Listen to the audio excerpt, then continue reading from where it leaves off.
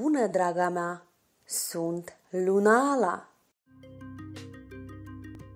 Mândria leului și sentimentul de înaltă responsabilitate inerentă numărului din ziua nașterii, respectiv 13 august, te fac un lucrător extrem de competent și priceput, ambițioasă și antreprenorială, prefer să fii în fața tuturor, să ai cunoștințe excelente de afaceri, capacitatea de a inspira respect și dorința de cooperare.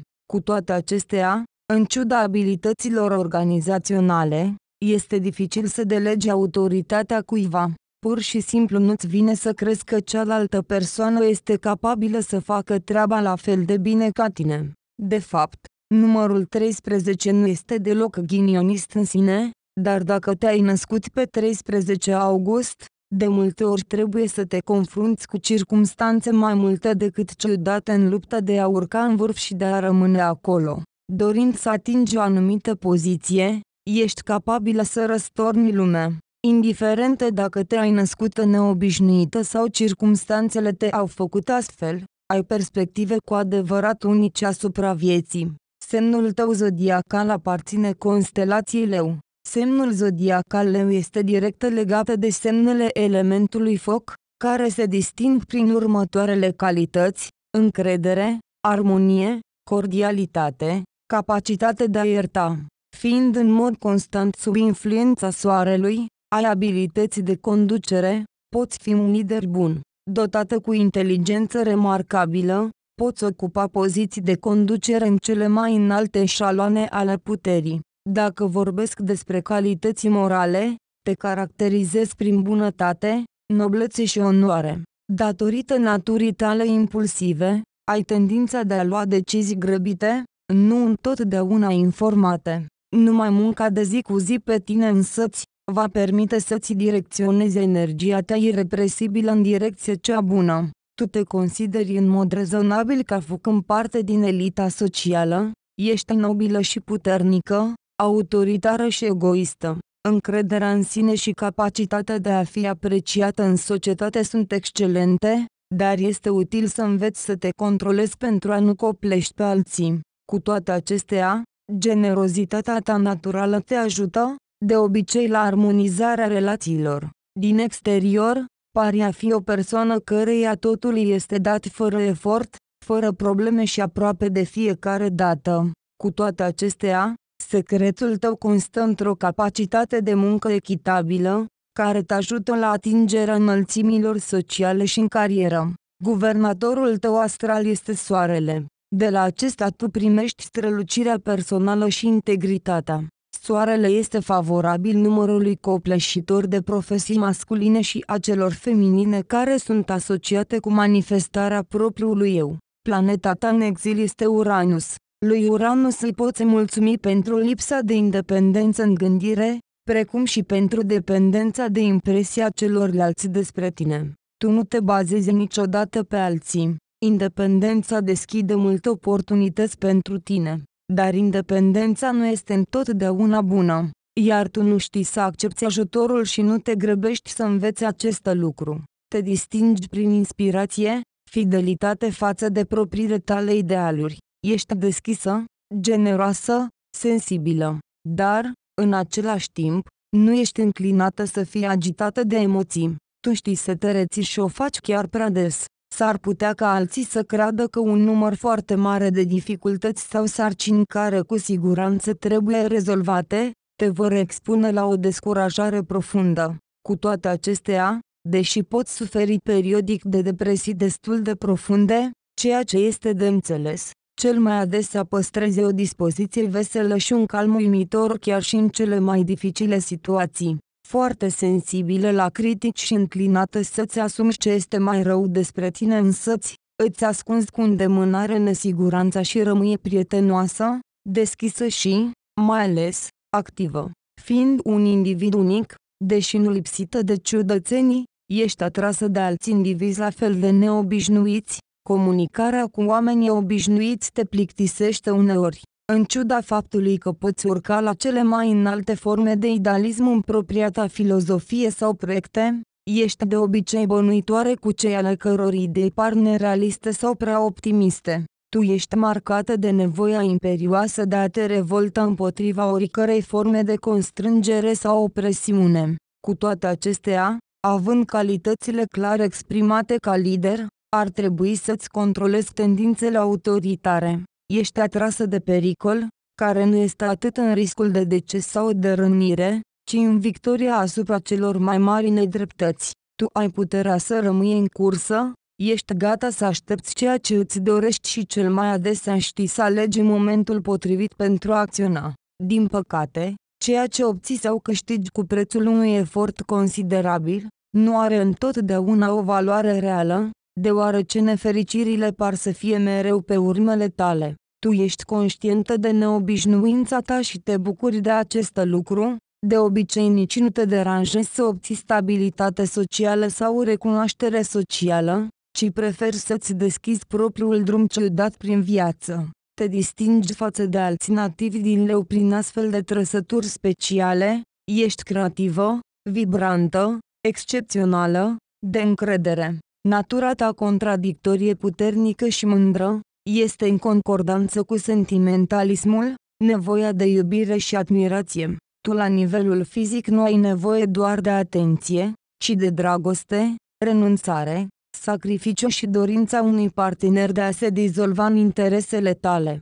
Cum afectează data de 13 august soarta ta? Ai o personalitate extraordinară, emoțională. Natura te-a răsplătit cu un caracter ardent și ți-a oferit o sursă uriașă de energie vitală. Fără iubire, îți pierzi sensul vieții. Ai nevoie de dragoste ca de aer. Dacă nu este acolo, cazi în deznădejde.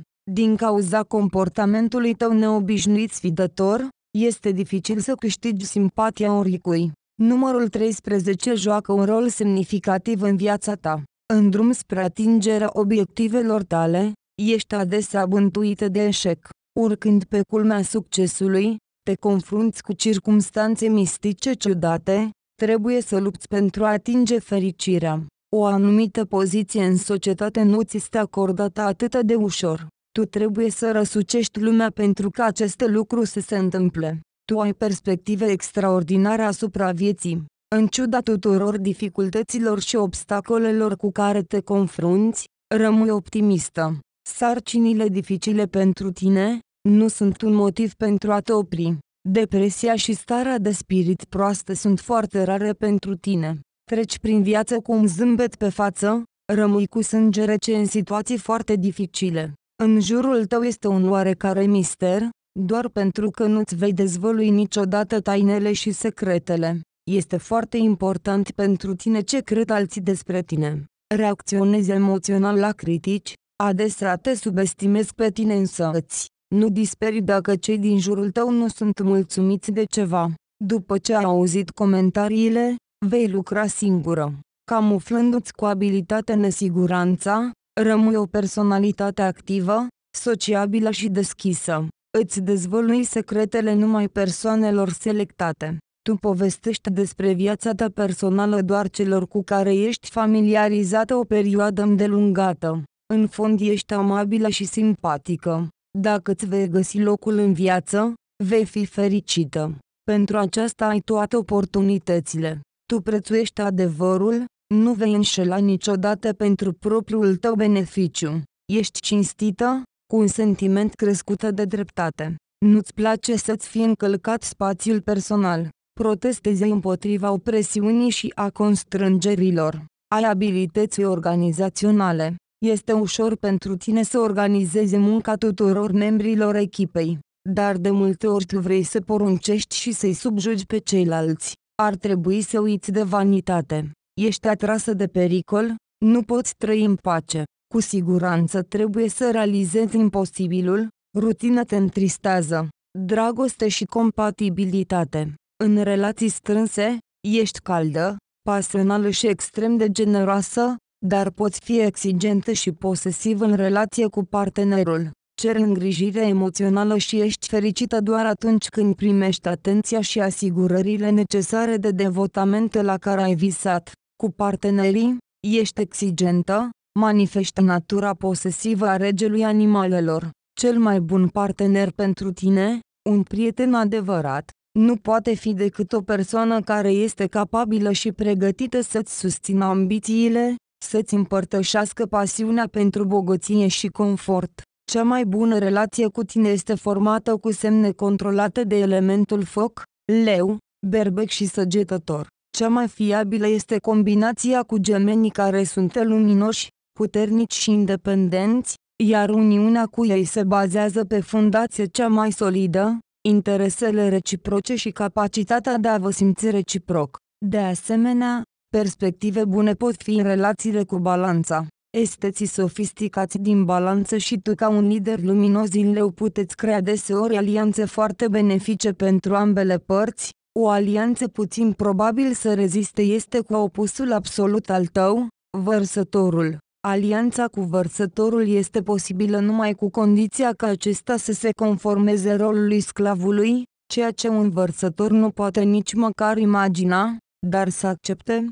O alianță nu prea bună te așteaptă cu scorpionul și una nefericită cu taurul, ambele sunt semne fixe, unde perseverența și respingerea de a-ți recunoaște domnia, te vor îndepărta ușor. Totul este însă posibil, neștiind nici ascendentul tău și nici lista datoriilor karmice reciproce, locuri de muncă și carieră, mândră, încăpățânată și foarte responsabilă, ești independentă. Rară ori ceri ajutor și accepti oferta de ajutor. Pentru tine, rezolvarea independentă a problemelor, atingerea obiectivelor este o problemă de onoare. Ești plină de idei. Crezi sincer în succesul fiecărei afaceri. Aceste lucruri te ajută la realizarea ceea ce dorești. Pentru aceste lucruri tu poți utiliza diferite mijloace. Ai abilități unice de adaptare. Nu există nicio sferă în care să nu te poți manifesta. Principalul lucru este formularea clară a obiectivelor. Tu inspiri respect, profesionalism în domeniul ales, ești pregătită pentru cooperare. În munca în echipă, îți asumi rapid responsabilitățile de conducere, nu te tem de responsabilitate. Ai probleme cu delegarea autorității. Independența te împiedică să-ți realizezi talentele organizaționale, sănătate și boli. De obicei, ai propriile tale idei despre ceea ce îți avantajează sănătatea. În ceea ce privește modelul de somn, respecti de obicei înțelepciunea tradițională și încerci să dormi timp de 7 până la 8 ore aproape în fiecare noapte. Acest lucru este de înțeles, deoarece pentru tine, viața într-un vis, la nivelul inconștientului, are o importanță deosebită și vei face orice pentru a o proteja. Indiferent dacă duci un stil de viață activ sau, din potrivă, sedentar, nu ești deranjată de problemele cu care se confruntă deseori alte persoane. Dacă trebuie să depășești bolile fizice sau ai cea mai mică nevoie de intervenție chirurgicală, atunci, totul se încheie cu succes, în primul rând de datorită experienței tale în a face față șanselor inegale. Soarta și norocul, universul te-a înzestrat cu o natură pasională și sensibilă. Viața ta este plină de contradicții te caracterizezi prin acțiuni ciudate, lipsă de tact și maniere dure, care vor interfera foarte mult în viața ta. Nevoia constantă de iubire îți va complica viața și pe această bază sunt posibile gânduri negre. Ești dotată cu o mare energie mentală, rapidă și activă. Dacă îți direcționezi abilitățile spre bine și le folosești corect, vei putea să-ți schimbi viața și să devii fericită. Sfaturi pentru tine ar trebui să înveți să găsești compromisuri. O abordare fără compromisuri nu este cea mai bună soluție pentru o comunicare eficientă. Obține maxim din ceea ce ai și nu lăsa niciodată lumea să predomine asupra ta. Găsește-ți propriul fel cu aceleași gusturi și perspective asupra vieții. Găsește-i pe cei care îți împărtășesc gusturile și mentalitatea. Ferește-te de mânie și tendințele tiranice. Încearcă să rămâi deschisă și încrezătoare. Nu te retrage în universul tău personal prea mult, nu intra prea departe în lumea ta personală. Ce cadouri ți se potrivesc? Pentru tine, abordarea este mai importantă decât orice. Darul trebuie prezentat, nu este predat, dat, înmânat și așa mai departe. Pentru ziua ta de naștere, tu ca o leoaică, regina fiarelor, îți place să accepti daruri? de preferință într-o atmosferă de solemnitate și teatralitate. Procesul ar trebui aranjat cât mai pompos posibil, florile într-un coș, oaspeții într-un semicerc, tu în centru, de preferință într-un fotoliu, cum ar fi un tron, pe care apoi îl poți părăsi ca respect pentru valoarea cadoului. Felicitarea este de dorit a fi ideal de mare, să aibă obligatoriu flori și litere aurite, să conțină mai întâi laude și aprecieri la adresa ta, și abia după aceea urarea în sine. Darul în sine ar trebui să fie înfășurat în hârtie de aur, cu o butonieră imensă în loc de un ax sau scoci. Nu poți face economii la cadouri pentru tine. Cadoul trebuie ales într-un stil elegant și scump, evitând falsurile, numai exclusiv și real. Pentru tine se potrivesc lucrurile pe care să te odihnești, doar tu nu te-ai născut să-ți îndoi spatele. Cel care îți pregătește un cadou ar trebui să-și amintească că nu-ți plac tonurile plictisitoare, dar preferi cele luminoase, vesele. Vei accepta cu plăcere operele de artă pe care te consideri a fi cunoscătoare. Nici o bucurie nu se va vedea pe fața ta, primind, deși scumpă, o copie după un Rembrandt. Este mai bine o pictură a unui artist de stradă necunoscut, dar unic. Dacă acest cadou este pentru o sărbătoare comună, de exemplu, anul nou, atunci ar trebui să ți se dea un cadou cât mai solemn posibil. Tu nu te plictisești niciodată de decorațiuni, dar nici de niște bijuterii, evident că din aur. Stilul tău este al lui al 16-lea.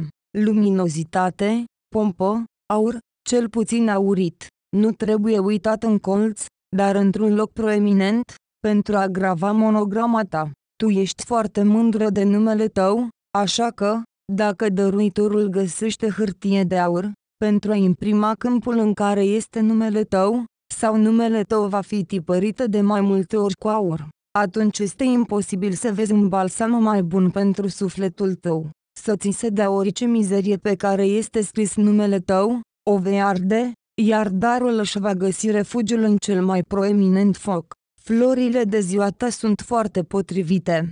Orhidee, trandafiri stacoji te vor încânta. Vorbind despre bijuterii de aur, de preferință, trebuie comandate individual la un bijutier, ar trebui gravate cu inițialele tale. Telefoane, tablete, numai cele mai recente modele și mărci de prestigiu. Parfum, cosmetice, de la producători de renume. Același lucru este valabil și pentru haine și accesorii. Aceste elemente ar trebui să fie la modă, extravagante. Culoarea ar trebui să fie portocalie, roșie sau galbenă. Nu trebuie să uite careva de tratamentul pentru tine. Pentru masa festivă, îți va fi util un cadou ca o cutie elegantă de ciocolată, o sticlă de șampanie de marcă sau chiar un pachet de super delicatese de peste mări și țări. Un cadou preambalat din supermarket, îl vei considera un comportament inadecvat, ba chiar un cadou înjositor. Ca pisică grațioasă, adori confortul și, prin urmare poți accepta o pătură de lux, o pernă elegantă, o pernă cu paiete sau o vază de flori strălucitoare nu te va mulțumi cu caracterul său practic, ci cu aspectul original. Dacă cineva nu este decis, sau nu are nicio idee despre ce să-ți da cadou, atunci problema poate fi rezolvată prin plasarea banilor într-un plic frumos colorat, vei decide pentru tine însăți ce să cumperi ca dar și apoi să-i spui despre asta. Nu vei uita niciodată valoarea darului și vei căuta să-l onorezi pe donator în egală măsură de ziua lui. Acesta este un portret general pentru tine. Te vei descoperi cu adevărat într-o astrogramă natală în care vei afla predispozițiile pentru întreaga viață, așa cum ți le-au dăruit ursitoarele tale.